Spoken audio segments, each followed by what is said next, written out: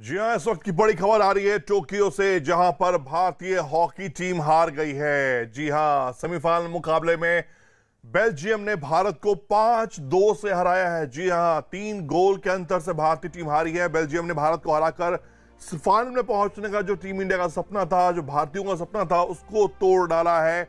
उम्मीद थी कि भारतीय टीम शानदार शुरुआत करेगी, लेकिन आज का दिन भारत के हॉकी के नाम नहीं रहा। भारतीय हॉकी खिलाड़ी ने शानदार प्रदर्शन किया पूरे टूर्नामेंट में, लेकिन सेमीफाइनल में आकर चूक गए। यानी इसका मतलब यह है कि हम अब गोल्ड और सिल्वर की रेस से बाहर हो चुके हैं, लेकिन अभी भी हम ब्रॉन्ज की रेस में हैं। अब भारतीय टीम को जो दूसरा सेमीफाइनल होना है, ऑस्ट्रेलिया और जर्मनी, उन उन दोनों टीमों में से जो टीम हारेगी, उसके साथ ब्रॉन्ज के लिए मुकाबला खेलना होगा। यानी भारतीय टीम के लिए जो गोल्ड और सिल्वर जीतने का सपना था, वो टूट चुका है, लेकिन फिर भी ब्रॉन्ज के लिए टीम इंडिया खेलेगी। आज के मुकाबले की बात करें तो वाकई भारतीय फैंस को काफ़ी मायूसी होगी, क्योंकि शुरुआत के चार मिनट में पहला गोल बेल्जियम ने दाग दिया था। और बेल्जियम के हम रिकॉर्ड की बात करें, जब हम आज जो मुकाबला खेल रहे थे, इससे पहले भारत और बेल्जियम के बीच हम पाँच जो मुकाबलों की हम बात करें, उसमें चार मरतबा भारतीय टीम ने बेल्जियम को पटकनी दी थी। एक मैच में बेल्जियम ने भारत को हराया था तो उम्मीद थी कि आज भारतीय टीम करिश्मा कर दिखाएगी, लेकिन यहाँ पर कुछ गलतियाँ ऐसी हुई जिसकी भरपाई भारतीय टीम पूरे 60 मिनट के खेल में नहीं कर पाई और बेल्जियम ने मौके पर चौका लगाते हुए पाँच दो से भारत को हराकर फाइनल में जगह पक्की कर ली है और साथ ही साथ बेल्जियम ने अपने लिए एक सिल्वर मेडल तो पक्का कर लिया है। वो जीती तो गोल्ड उनके साथ। और इस वक्त मलय नीरज जी भी हमारे साथ जुड़ चुके हैं। मलय सर की चर्चा कर रहे थे। कि डी में जो भारतीय टीम का गेम वीक नज़र आ रहा है पेनाल्टी में पेनाल्टी हम लिए जा रहे हैं वो महँगा पड़ गया आज। जी और जब आप जानते हैं कि अलेक्जेंडर हेनरिक जैसे खिलाड़ी वहाँ पे हैं ड्रैग फ्लिकर दुनिया के बेहतरीन उनसे अच्छा शायद अभी कोई नहीं जिन्होंने पहले आपके मैच से पहले ही 11 गोल कर दिए थे इसी टूर्नामेंट में इसी ओलंपिक में तो आपको बहुत संभल के खेलना पड़ता है अमृत। और यही वहाँ चूक हुई थोड़ी भारत से लेकिन कुल मिलाकर अगर आप देखें तो भारत का खेल चौथे क्वार्टर में जाकर जित जो खराब हुआ, वैसा कभी नहीं था। और जो सेकेंड क्वार्टर में एक अलेक्जेंडर हेनरिक्स ने मौका पाया और जो गोल करके बराबरी की, क्योंकि आप देख रहे थे कि भारत लीड कर रही थी दो एक से, और जब दो दो से बराबरी हो गई, उसके बाद फिर बेल्जियम ने दबाव बनाया, और दबाव ऐसा बनाया कि एक अलेक्जेंडर हेनरिक्स को लगातार मौके मिले और लगातार उन्होंने गोल किया। एक अंतिम गोल चौथा गोल जो हुआ जब पेनल्टी कॉर्नर को पेनल्टी स्ट्रोक में बदल दिया गया और वहाँ से फिर उसके बाद भारत ने अंत में जिसको कहते हैं डूबते को तिनके का सहारा उन्होंने गोलकीपर श्रीजेश को बाहर किया और ऐसा किया जाता है कि चलिए 11 खिलाड़ी से खेल के देखते हैं कहीं दो मिनट में दो गोल हो जाएँ। लेकिन वो श्रीजेश का जाना फिर से एक बार महँगा पड़ा और एक और गोल दाग दिया बेल्जियम ने भारत पर। तो भारत ने बहुत कड़ी मशक्कत की, बड़ी मेहनत की। भारतीय बच्चों ने इसमें कोई शक नहीं। मगर जो हमारे को कंसीड करने वाली जो हमारी गलतियाँ थी, हुई थी पहले, उनसे सीख अगर हमने लिया होता, थोड़ा कम। क्योंकि आप जानते हैं कि जब आपके प्रतिद्वंद्वी टीम में इतना आदमी है, ड्रैग फ्लिकर, जो पूरी दुनिया जिससे खौफ खाती है, और वो है अलेक्जेंडर हेनरिक्स। तो उन्होंने जब आए जब बीच में थोड़ी देर के लिए मैदान से बाहर थे जब मैदान में वापस आए उसके बाद झड़ी लगा दी। तो इस तरह से भारत अब कांस्य पदक के लिए भिड़ेगा। जी बिल्कुल अशोक ध्यानचंद भी हमारे साथ जुड़ चुके हैं। अशोक जी उम्मीद बहुत थी कि टीम इंडिया टफ फाइट देगी बेल्जियम को लेकिन जो रिज़ल्ट आया वो हमारे फेवर में नहीं है। बिल्कुल ठीक कहा आपने।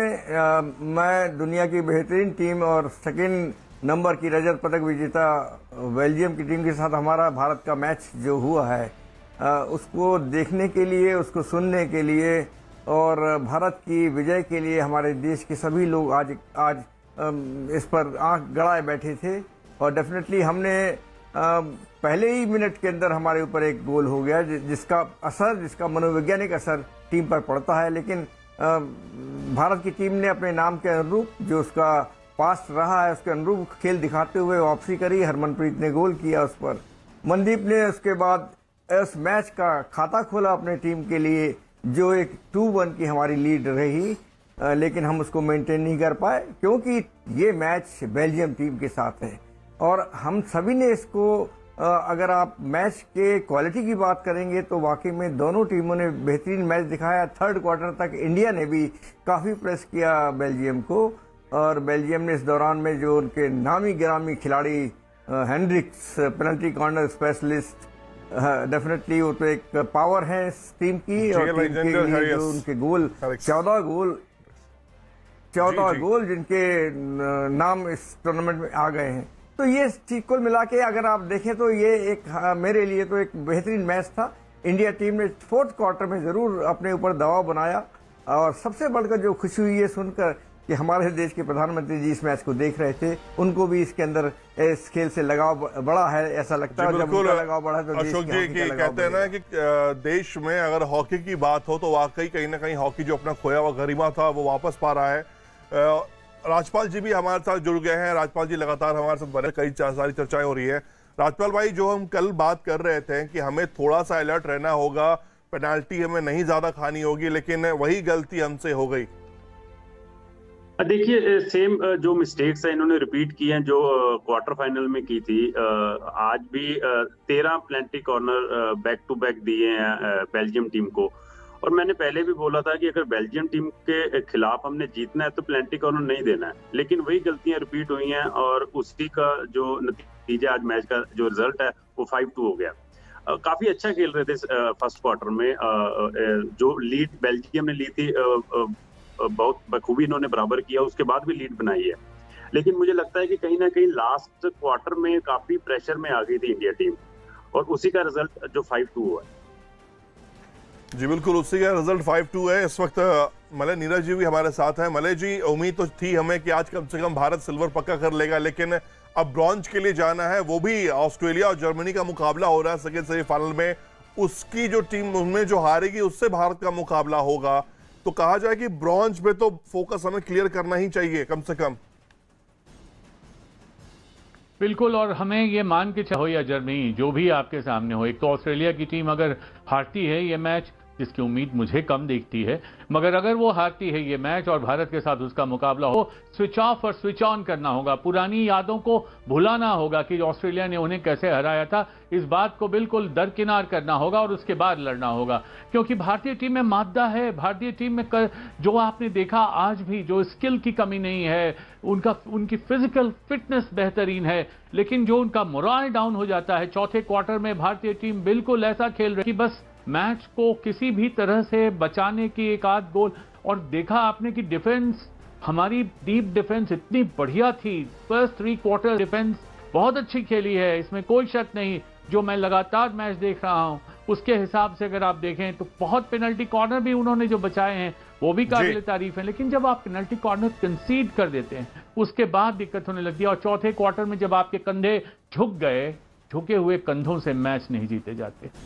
जी बिल्कुल, कहते हैं, झुके हुए कंधों से मैच नहीं जीते जाते हैं और एक कंधा इस वक्त रेसलिंग की दुनिया में, रेसलिंग के मैट पर भारतीय तिरंगे के लिए आन बान शान के लिए लड़ाई लड़ रहा है। मैं दुआ कर रहा हूँ कि सोना मलिक, जो इस वक्त बासठ किलो वर्ग, ग्राम वर्ग में देश के लिए खेल रही हैं, वो ये मुकाबला जीते और आगे बढ़े। इस वक्त हमारे साथ पूर्व हॉकी कप्तान राजपाल जी भी जुड़े हुए हैं, अशोक ध्यानचंद भी जुड़े हुए हैं। सर, जो बीत गई, सो बात गई। चलो कमियाँ तो रह गई लेकिन नेक्स्ट मैच में राजपाल जी क्या हमें करना होगा? क्योंकि सामने या तो ऑस्ट्रेलिया होगी या फिर जर्मनी। दोनों टीमें स्ट्रांग है फिर। देखो दोनों टीमें अच्छी हैं लेकिन ये अभी मैं समझूँगा कि हम पदक जीतने की दौड़ से बाहर नहीं हुए हैं। अगर हम देखें तो हम ब्रॉन्ज मेडल के मैच के लिए मेंटली प्रिपेयर होना चाहिए क्योंकि फिजिकली फिटनेस हमारी बहुत अच्छी है क्योंकि स्पेशली अगर लास्ट क्वार्टर की बात करें तो उसमें कहीं ना कहीं हम मेंटली वीक मुझे पर्सनली लगा कि हम नज़र आ रहे थे, काफ़ी मौके हमने बेल्जियम टीम को दिए। वो अलग बात है कि बेल्जियम टीम ने वो मौकों का फ़ायदा नहीं उठाया स्पेशली डीप डिफेंस कहीं ना कहीं ऑफ़ कलर थी लास्ट क्वार्टर में।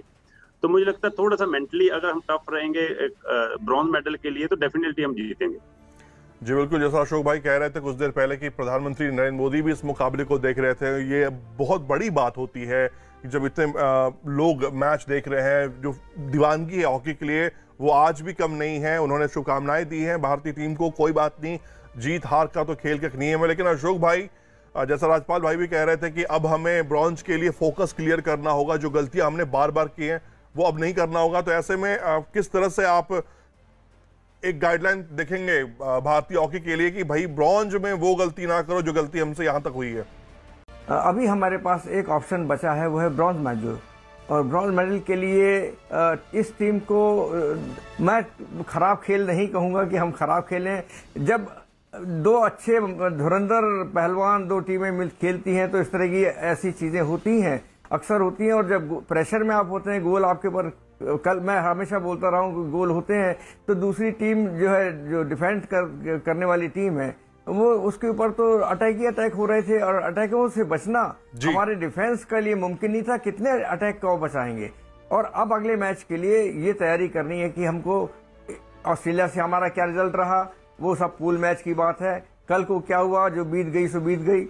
अब नई चीज़ हमको शुरू करनी है। हमारे को मेंटली प्रिपेयर करना है। फिजिकली हमारे इस खेल के अंदर फ़िज़िकल तो हर टीम अपने आप को दुरुस्त रखती है। भारत उनमें से एक है उसमें कहीं से कमी नहीं है। सिर्फ़ हमको मेंटली और में, जीतने की जो कोशिशें हैं जो चांसेस मिले पेनल्टी कॉर्नर लेने की कोशिश करें जिस तरह उनको आज तेरह चौदह पेनल्टी कॉर्नर मिले हैं बेल्जियम को हम भी मैक्सिमम पेनल्टी कॉर्नर ले। हमारे पास रुपेंद्र पाल है हरमन सिंह है जिन्होंने पाँच गोल किए अभी तक ओलंपिक के अंदर। तो एक बहुत बड़ी बात है बिल्कुल बहुत बड़ी बात है। हमें फ़ायदा उठाना चाहिए। हमारे पास भी खिलाड़ी हैं ज़फ़र इकबाल साहब भी जुड़ चुके हैं हमारे साथ। ज़फ़र जी निराशा ज़रूर हुई होगी आज भारतीय टीम के खेल को देखकर, क्योंकि जब हम बेल्जियम से खेल रहे थे तो पहले पाँच मुकाबलों में हमने बेल्जियम को चार मरतबा हराया था। एक बार बेल्जियम जीती थी, मैं रिकॉर्ड की बात कर रहा हूँ। तो स्टैट्स को देखते हुए ऐसा लगा था कि आज करिश्मा टीम करेगी, लेकिन शुरुआत से ही कहीं ना कहीं कुछ कमी रह गई। नहीं, देखिए, मेरे ख्याल में शुरुआत तो हिंदुस्तान की टीम ने बहुत अच्छा किया इसमें कोई शक की बात नहीं है। और देव प्लेइंग कॉन्फिडेंटली ऑल्सो ऐसा नहीं था कि बहुत कोई दब के खेल रहे हो अटैक में भी जा रहे थे। और ये शो कर रहे थे कि yes we are capable of defeating the opponent मगर मुझे जो लगा, जो मैंने जो देखा है कि मैक्सिमम जो हम लोगों ने लॉन्ग पासिस दिए हैं अपने खिलाड़ी को सब इंटरसेप्ट हुए। ग्यारह रॉन्ग पासिंग तो नहीं मैं कह सकता हूँ। पास इस एंटिसिपेशन पे दिए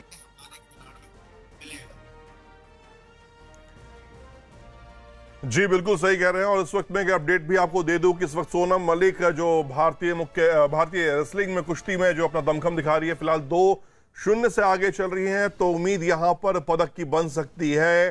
सोनम को दम दिखाते रहना चाहिए और हम आगे बढ़ते रहेंगे। मलय नीरज जी भी और प्रधानमंत्री नरेंद्र मोदी ने जब वो मुकाबला देख रहे थे तो उसके बाद उन्होंने ट्वीट किया है, जीत और हार जीवन का हिस्सा है हमारी पुरुष हॉकी टीम। टोक्यो में अपना बेस्ट दिया और यही मायने रखता है। जी हाँ आगे के मैच और भविष्य के लिए टीम को ढेर सारी शुभकामनाएँ पीएम ने दी हैं। साफ़ तौर पर पीएम मोदी ने जब जब देश आ, सारे खिलाड़ी जा रहे थे टोक्यो के लिए तो उन्होंने साफ़ कहा था कि आप जीतो या हारो ये अलग बात है लेकिन आप अपना बेस्ट दो आप जो करोगे वो दिल से करना वाकई खिलाड़ियों ने दिल से किया यहाँ तक पहुँचे हैं यह मान सकते हैं लेकिन ब्रॉन्ज हमें किसी भी हाल में नहीं गंवाना है चाहे ऑस्ट्रेलिया ही हमारे सामने क्यों ना हो जर्मनी हमारे सामने क्यों ना हो? माने सर, एक जीत, एक पदक पक्का, इकतालीस साल का सूखा खत्म, लेकिन इसके लिए बहुत मेहनत करनी पड़ेगी। मेहनत तो करनी पड़ेगी, लेकिन सबसे पहली ज़रूरत जो मैं समझता हूँ, जो बात सब लोग कह रहे हैं, वो ये कि आपको अपनी अतीत को भूलना होगा। आपको नए सिरे से ये सोचना होगा कि आप में मादा है, आप में वो क्षमता है आप में वो कौशल है, आप में वो फ़िज़िकल फिटनेस है इंड्योरेंस है, वो जो स्टेमिना है, वो भी आप में है। लेकिन ये है कि वो अब सेकेंड हाँ आप सेकेंड क्वार्टर तक का जो आज का खेल याद करके अपने हौसलों को बुलंद रखिए कि जिस तरह से आपने सेकेंड क्वार्टर तक खेला, दो एक की बढ़त आपके पास थी और थर्ड क्वार्टर में आपने बराबरी की तो थर्ड क्वार्टर तक जो आपका खेल रहा है, ठीक है थर्ड क्वार्टर तक आपने बराबर बराबर की टक्कर उन्हें दी है किन्हें विश्व चैंपियन को। They are world champions Belgium world champion है। कोई साधारण टीम नहीं है। तो जब आप ऑस्ट्रेलिया से इतनी बुरी तरह हारने के बाद बेल्जियम को इस तरह की टक्कर दे सकते हो और सेमीफाइनल में पहुँच सकते हो तो फिर ये ब्रॉन्ज मेडल क्या चीज़ है?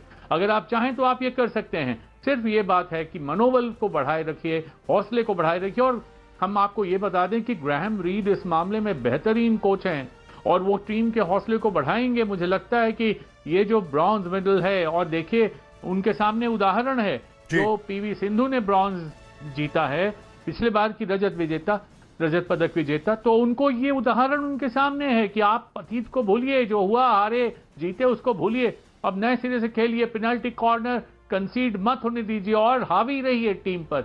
टीम को टीम के खिलाड़ियों को, जैसे ज़फ़र इकबाल भाई कह रहे थे, बहुत सही कह रहे थे कि लॉन्ग पासेस आपने जो दिए आज, कहीं ना कहीं चूक गए आप, क्योंकि बेल्जियम के खिलाड़ी आपसे ज़्यादा सजग थे, वो आपके पासेस को बीच में काट रहे थे।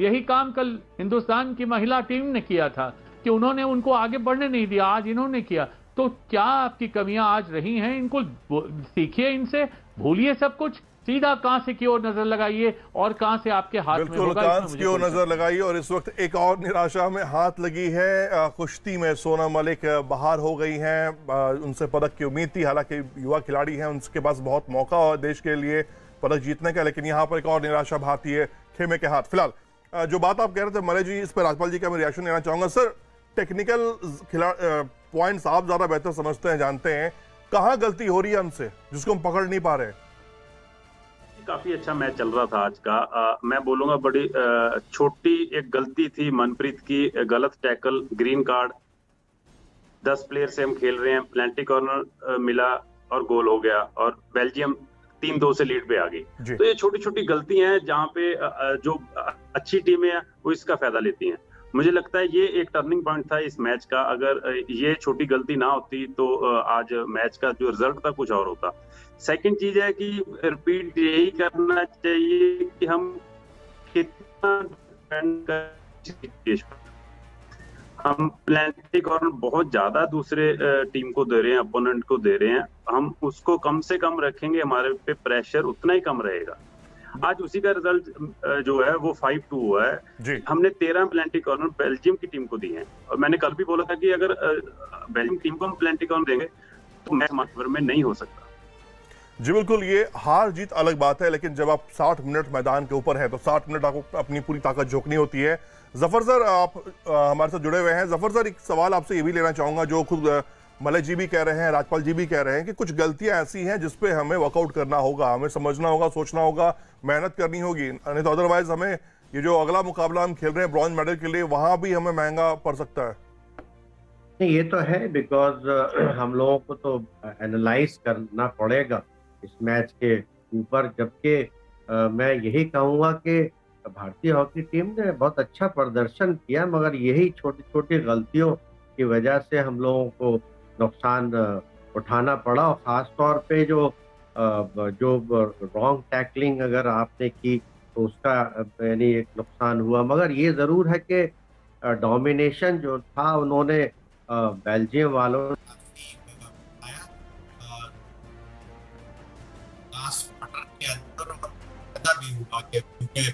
उन्होंने फिर शॉर्ट कॉर्नर कन्वर्ट किया और फिर लीड ले ली। ज़फ़र सर आपके ऑडियो में थोड़ी सी समस्या हो रही है। यही सवाल मैं लेना चाहूँगा अशोक जी से। अशोक भाई आ, सर बहुत बेहतर से आप लोग बता पाएँगे कि आप करना क्या है। करना वही है कि जो इसके बेसिक पॉइंट है हॉकी खेलने के जब हम हॉकी खेलना शुरू करते हैं कि किस तरह बॉल पोजीशन जो है आपके पास में रहे आपकी बॉल एक्यूरेसी जो ज़फ़र भाई ने कहा कि आपने बॉल फेंकी और बीच में इंटरसेप्ट हो गई। वो timing timing of the ball passing timing of the ball और आपके अंदर की जो क्वालिटीज हैं, कि डी के अंदर आप कैसे एक्ट करते हैं, ये तो ऑफेंस की बात है और हम कैसे गोल करते हैं। मनदीप का गोल भी बहुत दिनों बाद इस मैच में देखने को मिला, जो विजयी गोल था। और डिफेंस इस, आज की वर्तमान हॉकी में सबसे बढ़कर जो चीज़ सामने आती है, वो है डिफेंस कि आपका डिफेंस वो कितने प्रेशर को झेल सकता है। अगर हम अपोनेंट को ज़्यादा आने वाले मैच में अगर उसको हम जगह देंगे, उसको उनको डी में आने की हम जगह देते रहेंगे, काम करते रहेंगे तो हमारे ऊपर प्रेशर बढ़ेगा और गोलकीपर कब तक बचाएगा? श्रीजेश जो है, कहाँ तक गोलों को बचाएँगे?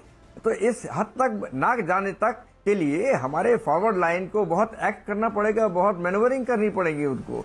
और फॉरवर्ड लाइन का वो खेल जो अपोनेंट को डिस्टर्ब उनको उनको, उनका प्रेशर बढ़ाए, उनके ऊपर हम प्रेशर डालें तब डेफिनेटली हमारी टीम तो सक्षम है और सब जानते हैं कि टीम भारत की जो है एक अपकमिंग टीम है और हमारे वर्ल्ड हॉकी के अंदर एक नाम चल रहा है इम्पैक्ट तो है ही उसका।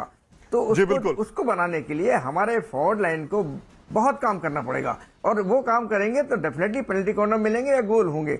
और गोल होने के चांसेस में हमारे खेल खिलाड़ी महारत हैं। कहीं से भी लेफ़्ट से मारे रिवर्स मारे सामने मारे पुश करें तो वो कर सकते हैं। और ये चीज़ मुमकिन है। और जो चीज़ मुमकिन है उसका फ़ायदा उठाना चाहिए। जी, अब सारे बड़े दिग्गज पूर्व खिलाड़ी हमारे साथ जुड़े हुए हैं। सर, एक सवाल जेनरिक से सवाल बहुत जो हॉकी खिलाड़ी नहीं है, हम जैसे लोग, एक बहुत बेसिक सवाल ये है कि जो हम मुकाबला खेल रहे हैं, ये कहीं ना कहीं डी में जाओ पेनाल्टी लो और गोल करो, ये जो नया हथकंडा लोग अपना रहे हैं, ये नए चीज़ जो देखने को मिल रही है, आक्रामकता के तौर पे इसको हम बहुत बड़ा हथियार मान रहे हैं, क्या ये हॉकी के खेल की खूबसूरती को खत्म करेगी? सबसे पहले तो मलय इंडिया सर मैं आपसे पूछना चाहूँगा, जो हम बात करते थे ड्रैग करने की लॉन्ग पासिस की, जो चीज़ें हमें क्रिकेट में पहले देखने को मिलती थी कि स्ट्रेट ड्राइव कवर ड्राइव बहुत प्यारे प्यारे मिलते देखने के लिए, बहुत अच्छे हुक मिलते थे देखने के लिए, लेकिन टी ट्वेंटी जब से आया, तब से ये चीज़ें बहुत कम देखने को मिलती है। तो क्या ये जो खूबसूरती हॉकी की खेल की थी, ये डी में जाओ और गोल करो पेनाल्टी लो गोल करो, ये थोड़ा आसान करने के लिए है चीज़ें? नहीं, देखिए, हॉकी का स्वरूप बदला है। जब 1976 में एस्ट्रो टर्फ आया, उसके बाद तेज गति से हॉकी होने लगी। और उसमें यूरोपीय देश जो हैं, वो हावी होने लगे। जो एशियाई हॉकी थी, जो बिल्कुल कलात्मक हॉकी जिसको कहते हैं, जिसको देखकर आनंद आता था। हमने देखा हुआ है, मैं तो बहुत छोटा था, लेकिन जब अशोक भाई खेलते थे, ज़फ़र इकबाल साहब खेलते थे तो हमने देखा वो कलात्मक हॉकी जो थी, जब मोहम्मद शाहिद के पास गेंद आती थी तो ऐसी ड्रिबलिंग देखी नहीं हमने तो कभी। हमने तो आज तक नहीं देखी वैसी। तो मैं कह रहा हूँ कि वो कलात्मक हॉकी के साथ साथ अपने आज की जो पूरा सिस्टम बना है हॉकी का, उस सिस्टम में ये आप, लाजमी बात है और यहीं पर उसका एक कौशल भी है कि आप जब ओपोनेंट के डी में घुसे हुए हैं तो किस तरह से आप पेनल्टी कॉर्नर ले लें, किस तरह से आप कोशिश करें कि आपके ओपोनेंट के किसी खिलाड़ी के पाँव से बॉल टकरा जाए, ये भी एक है। जब पेनल्टी कॉर्नर को गोल में बदलने का मौका आएगा तो आएगा ही। आप जानते हैं आपके पास अलेक्जेंडर हेनरिक्स है आप जानते हैं आपके पास हरमनप्रीत है, रुपिंदर पाल है। लेकिन जब आपने पेनल्टी कॉर्नर लिया ही नहीं और दूसरी टीम ने कंसीड नहीं होने दिया, वहाँ डिफेंस हमारे डिफेंस में अमित रोहिदास, बिल्कुल, मैं तो कहता हूँ श्रीजेश और रोहिदास, इन दोनों ने पूरी दुनिया को दिखा दिया है कि किस प्रकार से दीवारें खड़ी की जा सकती हैं। और श्री आपको मालूम है, आज रोहिदास ने जो बॉल उनके शरीर पे लगी, एक बार एक घुटने के ऊपर लगी मतलब तड़प के रह गए वो, लेकिन उन्होंने छोड़ा नहीं मैदान। तो मुझे लगता है कि वो नौबत ना आए, उसके लिए हमें कोशिश करनी है। कैसे क्लीन टैकल हो, कैसे क्लीन इंटरसेप्शन हो, कैसे गेंद को डीक में घुस ले लेते हैं, मगर आप भी ले सकते हैं। मगर उनको कैसे नहीं लेने दिया जाए? ये स्किल है ये कौशल है अब। और वहाँ पे जैसे कि अशोक भाई बहुत सही कह रहे थे आपकी फॉरवर्ड लाइन आपके मिडफील्डर्स सबकी अब ओपन हॉकी होने लगी टोटल हॉकी होने लगी। आपको सबको एक साथ मिलकर कोशिश करनी है कि आप जितना डी के बाहर रह सकें जितना उस रेखा के बाहर आप रख सकें तेईस मीटर की रेखा के बाहर रख सकें उनको अपने ओपोनेंट को उतना अच्छा है। तो मुझे लगता है कि ये कहना कि नहीं, नियम बदल गया इसलिए। ऐसा नहीं है। बदले हुए नियमों में खेलना है क्योंकि आप जब सिस्टम में हैं तो सिस्टम के विरुद्ध आवाज़ नहीं उठा सकते। जी, बिल्कुल। जैसे टेस्ट के बाद वनडे वनडे के बाद टी ट्वेंटी आया और खिलाड़ी अपने आप को बदले और ढल गए हैं और हम हर जगह चैंपियन बनते जा रहे हैं। उसी तरह हॉकी में भी इस चीज़ को हमें एब्जॉर्व करना होगा और इसमें हमें महारत हासिल करनी होगी। राजपाल भाई, जो खुद मले जी भी कह रहे थे कि ये जो डी का नया सिस्टम है कि आप घुसो और पेनाल्टी लो, ये भी एक खूबी है, ये कलात्मक खूबी इसको हम कह सकते हैं। ये ट्रिक भारतीय टीम को सीखनी होंगे और साथ ही साथ डिफेंस पे ज़्यादा काम करना होगा कि हमारे डी में कोई अगर आए तो हम वो गलती ना करें जो गलती सामने वाली टीम कर रही है। ट्रिक नहीं है कि डी में जाना है और प्लेंटिकॉन लेना है। मुझे लगता है जब से हॉकी खेलनी शुरू हुई है, तब से यही चल रहा है कि अगर डी में हम एंटर किए हैं पहला टारगेट होता है कि गोल करने का। अगर नहीं है तो हम कम से कम प्लेंटी कॉर्नर अर्जित करें, जो हमें सेकंड चांस मिल जाता है गोल करने का। और आज की बात मैच की तो आज इंडिया टीम को भी सात प्लेंटी कॉर्नर मिले हैं। सिर्फ़ हमारा कन्वर्ट एक हुआ है। अगर उसमें हम थर्टी फोर्टी परसेंट भी कन्वर्ट कर राहुल भाई आपके ऑडियो में थोड़ी सी समस्या हो रही है आपसे हम जुड़ेंगे फ़िलहाल टेक्निकल टीम इस पर काम कर रही है आपके ऑडियो देख रही है। अशोक जी हमारे साथ बने हुए हैं। सर कहते हैं हॉकी बदल रही है हर डीए बदलता है कभी कोई खेल आपके लिए ताकत बन जाती है कभी कुछ कमज़ोरी अलग चीज़ हो जाती है।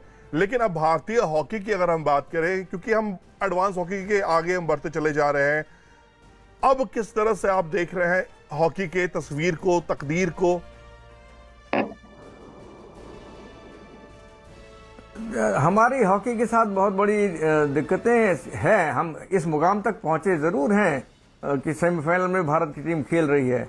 लेकिन क्या हमारे उस बेसिक जो सतह है, सतही जगह पर है, जहाँ स्कूल कॉलेजेस होते हैं, क्या हमारे पास इतनी एसोटर्फ है कि हम अपने बच्चों को उस तरह की हॉकी सिखा सके बचपन से? क्योंकि मोस्टली मैंने देखा है कि भारत के अंदर राज्यों मध्य प्रदेश उड़ीसा यूपी के कुछ हमारे, कुछ शहर हैं। तो ये हमारे पास बड़ा लिमिटेड चीज़ हो चुकी है। उनमें से हम खिलाड़ी निकालते हैं, वो सिलेक्ट होते हैं। वो ये मासिस के अंदर हम नहीं हैं। हमारे, हमारा जो बेसिक इंफ्रास्ट्रक्चर है, वो वो वो है, इतना पूरा नहीं है, मज़बूत नहीं है। एक तो वो सब चीज़ें काउंट करती हैं इन मुकामों पर आने पर। कि किस देश के खिलाड़ी किस तरह से आगे बढ़ते हैं। उनके कोचिंग सिमिलरिटी जो बाहर की बाहर की देशों में, हमारे देश के अंदर पचास तरह के कोचेज अपने अपने तरीके से कोचिंग देते हैं। और बच्चे को कई इन इन इन विविधाओं से, इन मुश्किलों से गुजरना पड़ता है। तो इन सबको देखें तो ये अगर चीज़ें कुछ ठीक होती चली जाए, इन पर ध्यान दें तो हमारे आने वाले नस्लें, हमारे आने वाले बच्चे डेफिनेटली इस हॉकी को, जो हमारे देश का एक बहुत पसंदीदा गेम है, और उस उस मासे, उस उस तबके का है जो जो ज़िंदगी में ऊपर उठना चाहते हैं, किसी खेल को लेकर, हॉकी सबसे बेस्ट खेल देखा गया है तो ये चीज़ हो सकती है, सिर्फ़ थोड़ा सा अपर लेवल को जो हमारे मैनेजमेंट है, हमारी सरकारें, हमें राज, हमारे घराने व्यवहारिक घराने इनको थोड़ा सा इसके इसके ऊपर ध्यान देना पड़ेगा। खिलाड़ी को बच्चे को करने के लिए तो तैयार बैठा है कि मुझसे आप कुछ भी करा लीजिए।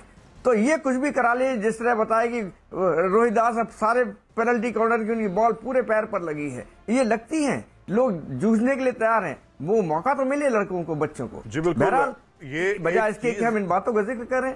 हमारी चीज़ बिल्कुल अशोक सर मैं माफ़ रोक रहा हूँ मैं आपको। असली एक एक पॉइंट पे बस ज़िक्र करना चाहूँगा। एक चीज़ हमें देखने को ज़रूर मिली है कि पहले चोट से थोड़ा बहुत डर लगते थे लेकिन इस बार खिलाड़ी तैयार हैं चाहे वो महिला टीम हो या पुरुष टीम हो क्योंकि हमने कई बार देखा कि जब सामने वाली टीम पेनाल्टी मार रही है तो खिलाड़ी डर के हट नहीं रहे। वो सामने आके दीवार बन के खड़े हो जाना चाह रहे हैं। चोट वो परवाह नहीं कर रहे कि उनको चोट लगेगी। वो ये देख रहे कि नहीं किसी तरह गोल सेफ़ हो जाना चाहिए। ये एक जो कॉन्फिडेंस है खिलाड़ियों का ना ये आगे आने वाले खिलाड़ियों के लिए आगे आने वाले वक्त के लिए काफ़ी मैं बेहतर मान रहा हूँ। मले सर प्लीज़ बिल्कुल, देखिए भारतीय खिलाड़ियों में जो एक परिवर्तन आया है, उनकी मानसिकता बदली है और फ़िज़िकल फिटनेस पे ज़ोर ज़ोर देखने को मिला है। जो इंड्योरेंस लेवल जिसको कहते हैं सहन शक्ति, वो बढ़ी है।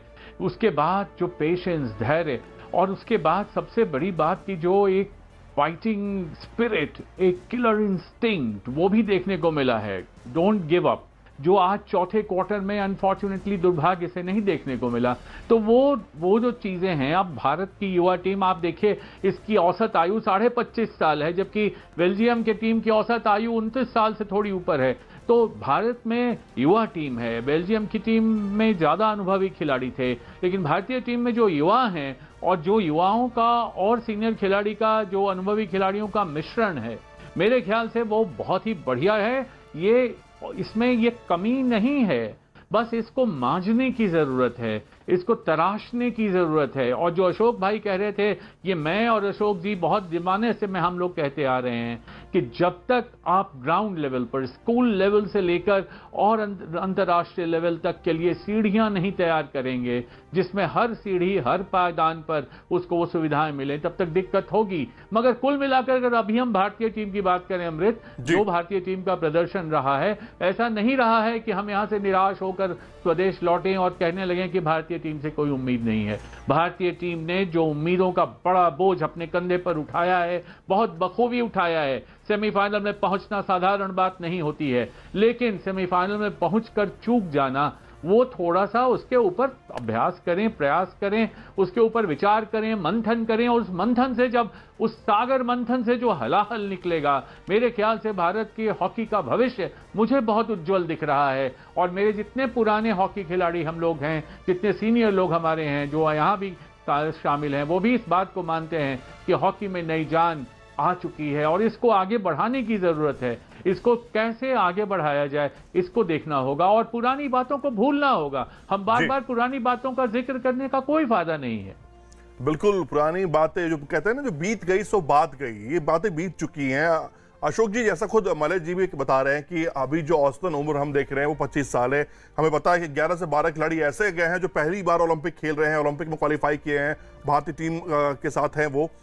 आगे आने वाला मतलब मैं नेक्स्ट ओलंपिक की ही बात करूँगा। अभी ब्रॉन्ज का मुकाबला ज़रूर हमारे पास है, लेकिन कहीं ना कहीं अनुभव बहुत काम आता है। और इन खिलाड़ियों के पास यहाँ तक पहुँचना, अनुभव अर्जित करना, ये आगे आने वाले कल के लिए शुभ संकेत हो सकते हैं। देखिए उम्र का कहीं भी कोई तकाजा या इस तरह की बातें कि यंग टीम है और अनुभवी टीम है, उम्र दराज है उम्र कहीं ना कहीं आड़े आती है। क्या क्या हम श्रीजेश को उतनी उम्र का मान के उनको बाहर कर देते? अरे, अनुभव है और उनकी फ़िज़िकल फिटनेस बराबर चल रही है किसी खिलाड़ी की तो हमको रखना ही होगा, उसको रखना चाहिए। बेल्जियम की टीम देखिए, अनुभव के साथ साथ उनकी फ़िज़िकल फिटनेस और और एक उम्र के बाद तो आपका दिमाग काम शुरू करता है खेलना कि मुझे करना क्या है? मुझे जो चीज़ मुझे खेलनी है, मैं कैसे अच्छा खेलूं? पता लगा कि आप जब तक अनुभवी होते हैं, आपको टीम से बाहर कर दिया जाता है। तो वो अनुभव का फ़ायदा जो टीमों को होना चाहिए, देश को होना चाहिए, वो डिस्ट्रॉय हो जाता है। तो इन चीज़ों को हम ना उस वे में ना लें, जो बच्चा, जो खिलाड़ी अगर बारह पंद्रह, अब नादिया तेरह साल की उम्र में ओलंपिक का मेडल जिम्नास्टिक के अंदर उन्नीस सौ बहत्तर में लेकर आई थी। तो अगर वो उसको बच्चा मान के ले, नहीं लेते उसको तो उसका मेडल तो चला गया था। इसी तरह हॉकी के अंदर भी अगर बच्चा अच्छा है और समझदार है। हम समझ ब्रेन ब्रेन मैपिंग ब्रेन को समझना बहुत ज़रूरी है किसी भी खिलाड़ी का कि उसकी उसके दिमाग में कितनी तरह की बातें आती हैं किस तरह का वो वेब्रिकेशन करता है वो बातों को निकालता है। और इस ये सब बातें खिलाड़ी के लिए ज़रूरी है और ये सब चीज़ें हमारे कैंप्स के अंदर सिलेक्शन के अंदर उस, उस, उस आना चाहिए।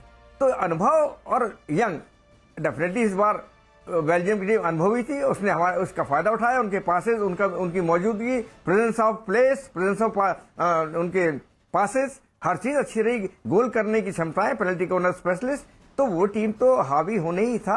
भारत की टीम उसको मुकाबला कर सकती थी अच्छी तरह से और ज़्यादा कर सकती थी, जो हमारी गलतियाँ हुई और गलती से जब गलती होती तभी हम हारते, कोई टीम तो हारती है जब गलती हो जाती है। तो ये गलती हमको अब सुधारने की ज़रूरत है। असली असली पॉइंट है कि अब हमको क्वार्टर फाइनल में सेमीफाइनल में जो मैच खेला जाएगा उसके बाद का जो मैच है ब्रॉन्ज मेडल का वो हम कैसा खेलते हैं? सारा दारो मदार सारी अब निगाहें सारे भारत देश की आशाएँ हमारे इस पॉइंट पर है कि हमारी भारत की टीम अब ब्रॉन्ज मेडल के लिए कैसे खेलेगी।